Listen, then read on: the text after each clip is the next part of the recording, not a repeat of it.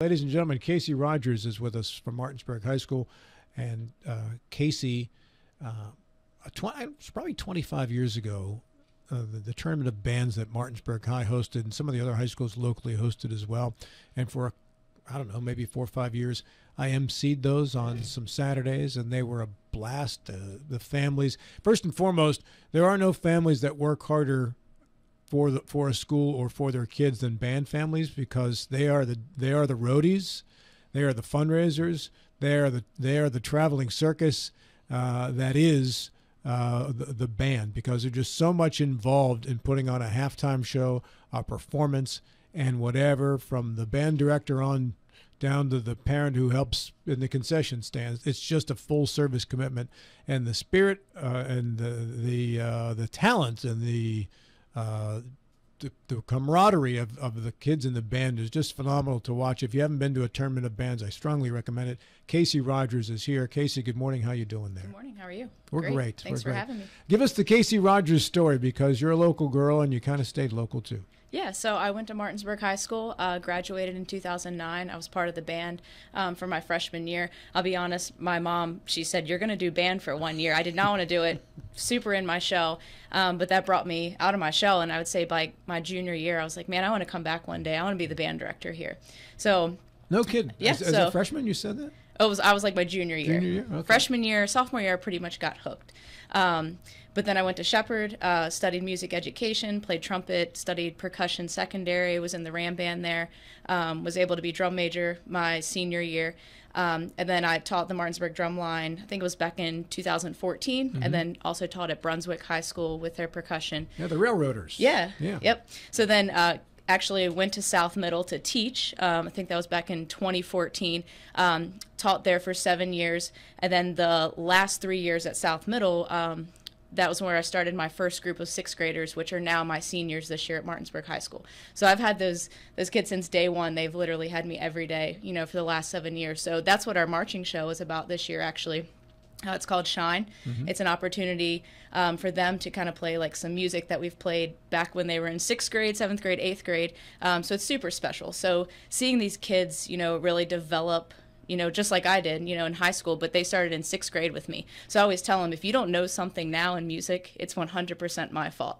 Because you're, uh, you're, responsible. Yeah, I, am responsible yeah. for you. so, uh, yeah, that's that's my story. Um, played sports at Martinsburg High School, and then you know, band band was my calling. So I'm glad I'm able to come back and be at Martinsburg, and this is my fourth year as band director. That's great. What sports did you play then? Uh, basketball and volleyball. Basketball and volleyball. Which yes. one did you like better? Basketball. Basketball. Yes. Yeah. What position were you? Uh, shooting guard.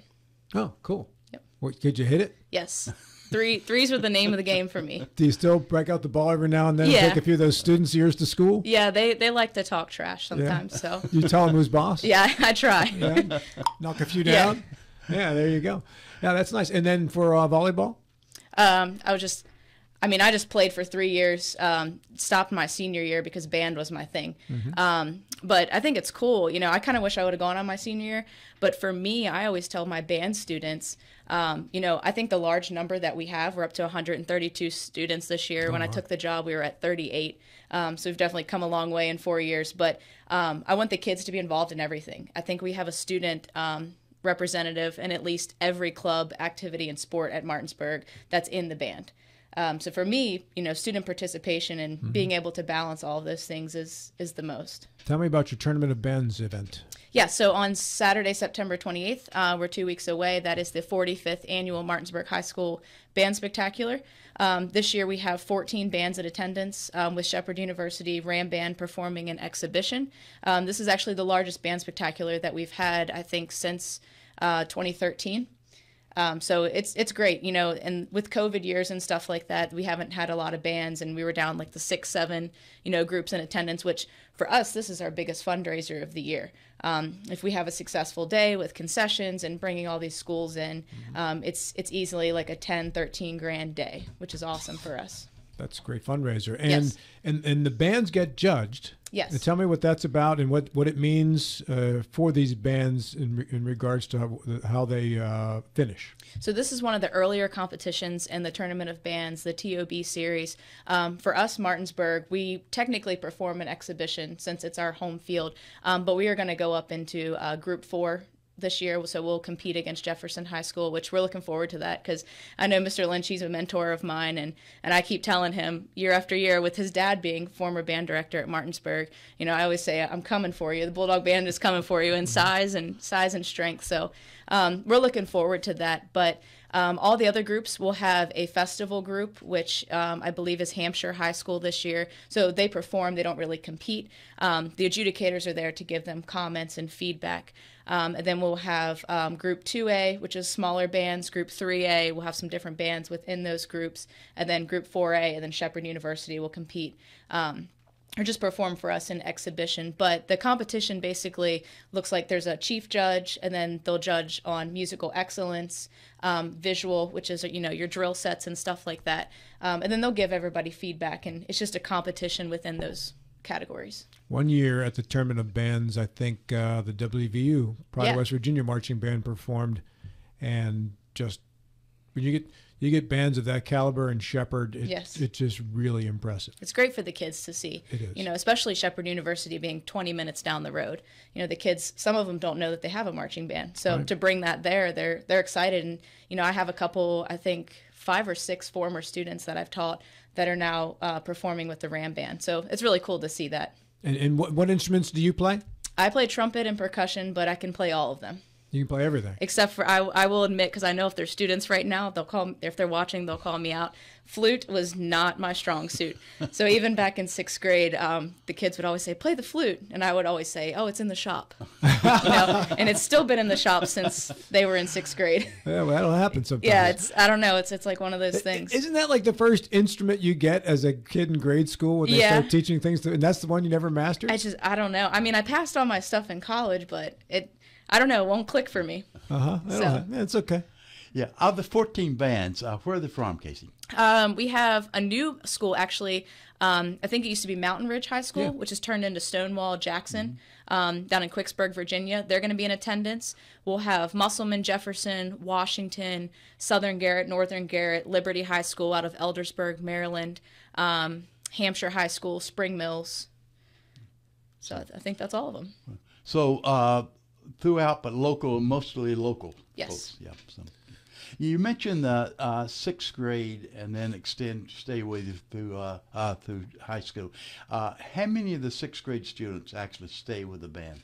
Um, there was 14, we have 14 seniors right now, so I would say 14 out of about 17. 17. Okay. Yeah, A some of them. Percent. Yeah, some of them moved, you know, to different schools and stuff like that. But um, for the most part, all of them have stuck with me. And there was a few that, you know, going into high school, they didn't know I was going to be the band director, and I didn't know I was going to be the band director until about three days before camp started. Um, and I was able to reach out to those students and say, hey. You know, I want you back in this program, and I want you back with me to do band, and that's it's pretty cool because that's actually where our first number, "I Want You Back" by Jackson Five, comes into play on our marching show this year. Yeah. What's the favorite part for you? The practice or the actual performance? Uh, I think both. Um, but last, you know, this past Friday night, the kids get better every game, um, and every rehearsal, and that's been our motto. You know, get better every day. But to see, um, you know, for me when I was in high school, people would get up and go to the concession stand during halftime. But the amount of people now that are staying in the stands to watch the band is amazing. I mean, I know this show is special for me, but and the kids always make fun of me because I cry, and I, you know, I've been emotional this year. But you know, Friday night that was the best performance they've put on. So I was standing there thinking at the top of the press box, all the work they've put in all week long, and the rehearsals, and you know, we practice in the middle of the day, so at twelve o'clock out on the football field, it's nice and hot. You know, they've got other things going on, um, but just to see it all come together on a Friday night is special. So during uh, during a ball game, uh, for the concession stands and the restroom breaks, they go while the team's playing, so they can watch you on the field uh, at halftime. Yes. Hear that, Rob? Well, you know, Casie mentioned that at halftime people used to go and get uh, concessions and whatever. And if I remember, the band parents actually worked concession Yes. stands to make money for the band because one band uniform can cost over a thousand dollars, right? Yes, right now one band uniform is about um, five five fifty. Um, and each year we've had to order about 20 jackets or 20 um, pants to go with that because we just we keep growing. Right now we're at the point where um, we ordered 100 uniforms my first year and we ordered 20 last year, 20 the year before, and this year we're going to have to order probably about 25, 30 because we, we had to call it quits on, you know, tell some students they're going to have to come back next year because we just didn't have uniforms for them, which is a great problem to have. When but you have 132 kids, it's also happen. money, you know. So, uh, how many? Uh, how many? Did, did, did first? Do the kids buy their own instruments, or does the school own some of the instruments? Uh, we do loan some of the instruments. Um, so, for example, like a mellophone, um, which is like a deeper version of a trumpet. That's a not something bit- you call your friend on, Bill. The Yeah. telephone. That's it's it's an instrument. Not quite. um, so we actually just got the kids were the kids are awesome, Yeah. and I always joke that I make sure that they have the best of the best. So um, we had two students playing silver mellophones um, and three students playing brass. Well, they wanted all silver. So the other day we went and bought all silver mellophones for them. So um, yeah, stuff like that. Those instruments, sousaphones, um, the school provides those. Um, the drumline equipment, the front ensemble pit equipment, we provide that. But your flutes, clarinets, you know, trumpets, saxophones, mainly the kids purchase those. And how many years do you get out of an instrument or a set of drums before you have to either refurbish them or or replace them? Um, drumline in specific, I know the first set that we had, um, we got my junior year of high school, and it wasn't until um, 2021 that they had gotten a new set. Um, so we did fundraising for that my first year, and it was about thirty-three thousand dollars to buy all the drums. Um, so hopefully, you know, we're on year what three, four of those. Um, so we, I mean, we take very good care of our stuff. The kids take good care of it. They have pride in it. Um, so hopefully, it'll last for the next twenty years. Yeah, the 132 member band uh, member is a, is an impressive number. Uh, what's the largest number you could have on the in a band? Uh, you can have as, as many as you want. Um, I mean, actually, for practicality purpose, to uh, so you can perform with, with precision. I mean, really, really as many as you want. Okay. Um, I know the largest band in Martinsburg. We haven't been, you know, this size since I think, um, you know, the John Lynch senior era, which was, you know, back in the. Um, someone said the other day, looking at YouTube videos, they haven't seen the band this large since like the late '90s. So Yeah, that would uh, that would be around the time I think I was emceeing those. They did have some large bands at the time too, and and they were good. Uh, Yeah. Mr. Lynch was very good at what he did. That's for sure. yes, So, with the uh, uh, the performance that's coming up, what time in the morning are you starting? it starts at 5 p.m. Oh, five in the Yeah, evening. 5 okay. p.m. Uh, the last group, Shepherd, goes on at 8:45, and our awards are at nine, and then gates open that day at three o'clock. Okay. Do you have any other performances that you're going to this school year, or that you'll also be doing? Yes. Um, see, October 5th, we'll be going to Morgantown High School. We were actually invited to their band spectacular, which is um, kind of like ours, but it's more of like a showcase. It's not really competition, but a lot of the larger bands in the state will be there. Um, so we're going to take a day trip, you know, show the kids around WVU, take them up, get some lunch and dinner, um, try to make a little fun trip for them. Um, and then we are going to Musselman High School, um, I think October 12th, the week after, for their tournament of bands. And then um, the week after, we'll be in the Apple Harvest Parade. Um, and then we'll also be going and doing uh, the Region 5 Chapter Championship, which kind of wraps up the whole TOB season on October 19th, that same day. We'll be in the Veterans Day Parade in Martinsburg on um, November 9th. We'll do the Christmas parade, Martinsburg Christmas parade, and then um, this year actually it's very cool. We put in for it last year and got accepted. Um, it's the first time forever for Martinsburg band, but we got accepted into the National Cherry Blossom Parade in DC on April 12th. Um, so we'll go down that day and perform. And then um, we're actually taking the kids to the Strawberry Festival in Buckhannon, West Virginia, uh, May 16th, 17th, and 18th to perform down there, and then put our uh, percussion students in a drumline competition. You did all that without notes.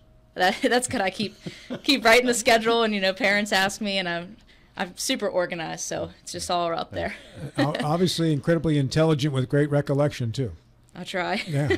So Cherry. Blossom Parade. Yes. That's uh, that's quite an accomplishment. It that's is impressive. Uh, we kind of kicked it off last year. We um, put in for Disney, and we went to perform in uh, Disney World, which was awesome during Oh, you spring did. break. You got there, yeah. yes, that was awesome. We hadn't been there um, since I was a freshman in 2005 at Martinsburg, so the band hadn't been back there. But um, the Martinsburg band used to make a tradition to go every four years. So we had a great trip. Um, the students were excellent. The parent volunteers were great. So we're going to try to make a tradition again to go back every four years. the pinnacle of performance would uh, of the of the parades would Macy's be near the top? Yes. Okay. Have you ever applied for Macy's? We I started the application process uh, last year, and then um, once I started looking at dates and stuff, because I was really trying to get you know my senior class this year into it, you have to put out like two three years in advance. Um, so I mean, at those points, you don't know what kind of ensembles you have and size like that. But um, I think I'm gonna. I have my application. It's I've put it on pause, but I'm gonna. I think I'm gonna go forward for it because if the program continues to grow like it is, I mean, it's it's gonna be great in coming years. When you are deciding what program you're going to do for the the year, uh, I've seen a lot of. Band, I'm a football coach at the high school where, nearby where I live in, in Frederick, and uh, the band is either doing a like classical music kind of piece or a pop music kind of piece. How do you decide which one you're going to do that particular year as you're setting up your schedule? Um, I always tell myself and my staff, um, which this year was kind of special, you know, with the senior class and stuff like that. We wanted to honor them, and the music just kind of flowed. But especially at Martinsburg, you want to draw in the football crowd. Um, I'm not necessarily concerned about competitions, and the kids really aren't either. You know, they just want to go out there and put on a good show and have fun, and you know, get a good crowd reaction. And I and this year we definitely are doing that. Like I said, we're playing "I Want You Back" by Jackson Five, which is a big hit. You know, people know that. Um, we're playing "Golden Hour," which is you know we took a word from there to make the show, which is kind of like a newer piece, but um, that's where we get the shine factor from. Um, we're playing High Hopes, which is a pop piece, mm-hmm. um, which is a piece that the kids did um, when they were in seventh grade with the Martinsburg High School Band as their step up night. Um, so it's the first group they played with the high school band, so that's where we got that from. So, and then um, later in our show, we have A Million Dreams from The Greatest Showman, which was just a little clip from their uh, first show with me at Martinsburg from their freshman year. So this year was special, like I said, tying it all in, but really just making, you know, giving the crowd music that they're familiar with. Mm-hmm. Um, and that seems to come a long way. Sometimes in the competition world, it doesn't go very well with the judges, but the kids don't care about that. I don't care about that, you know, because right now, you know, we're one of the biggest bands in our category. So really, anywhere we go, unless you know Jefferson would compete with us, or you know Washington being a bigger band, um, you know, we pretty much get first place. You know, and the kids, like I said, they don't care about the trophy. They just they just want to have a good show. It's funny that you just said that just real quick, Bill, because my wife, who goes to our, our games, will say to me, Why is the, the band so boring? Because they do classical music right. pieces, but they win awards. Right but then the, the visiting team, if they bring a band, they're doing a pop piece. It's like everybody loved the other band. They right. they played all these songs we all know. And uh, and normally with like you know those those classical songs, they're they're making up for that with like the visual factor of it. Yeah. Um, and sometimes with being so large, it's hard to do you know a lot of visual things. And for us this year, it's cool because we have uh, 21 students in our color guard, which mm-hmm. is amazing. And and we haven't had that since you know the John Lynch senior era, which is which is awesome. And I know Mrs. Rosemary Lynch, she used to um, be a killer guard instructor. Um, so we're really trying to, you know, get the whole band back to the Lynch era, from the color guard back to the size of the band, um, and just be a big staple in the community. And, and the kids are doing an excellent job because they're they're getting there this year, which is awesome. Sounds like you're doing an excellent job. Yeah. Bill. What's most which aspects most challenging to teach, Casie? The uh, the music part or the precision marching? Um, I would say the marching. Uh, music, the kids are great musicians. Um, it's they're they're awesome. You know, they're getting a good feeder program from South Middle with Heather now, and then with North Middle as well. Um, all of our staff is really good to help um, musically. We have a lot of you know staff members that are designed and specific for each section um, of our band, but sometimes just marching because kids are coming from different backgrounds. You know. Um, sometimes you know staying in step of left right left right doesn't really click until their sophomore year um, but other kids are just natural to it, which is which is great. Um, but we try to hit basics a couple times a week. Um, to take it back from that, and then we reevaluate things after our Friday performances. Like today being Monday, um, we're going to start in our pregame block and hit basics. Um, so as we're marching out for the national anthem, I know the straight lines are super important to me and my staff. The kids, I know they get annoyed with us sometimes, and they're like, you know, that's all I talk about is straight lines, but it's impactful. So you get a group that size to be in straight lines. It's it's a cool thing to see. I love you how you did the, eye roll there. She did the she, she did the eye roll like the kids give the you. kids, yeah, they yeah. give it to me all the time. Yeah. yeah. Do you change the program on a weekly basis? No, we don't. We do change our stand tunes that we play within the stands. Um, for example, one of our assistant band directors, Hannah Abereg, um, gave us a lot of uh, stand tunes that we're doing that she did at WVU. So the Pride of West Virginia plays. Um, Casie, hang out a second. We'll be back with the final 50 seconds right after we take our final commercial break of the program here. Casie Rogers Adams from Martinsburg High School. Casie, you have 20 seconds to get your final message across. All right, the last thing I'd like to say is we have our third annual Running with the Dogs uh, 5K race. That is the morning of the band spectacular. Starts at 9 o'clock. Uh, registration's still open. Uh, people can go to mhsbulldogband.com and find the registration link on there. So we'd love to have everybody come out. Well done. And she did it in 20 seconds, She did too, that. Bill. Yeah. Bill, thank you. I'll see you on Wednesday. Looking forward to it, Rob. Enjoyed the day. Mr. Gilstrap, get well soon. Take care of that back. Casie Rogers Adams from Martinsburg High School. Great job. Thank you. Dave Ramsey shows next. This is Talk Radio, WRNR Martinsburg and TV 10. And we'll talk again at 22 short hours.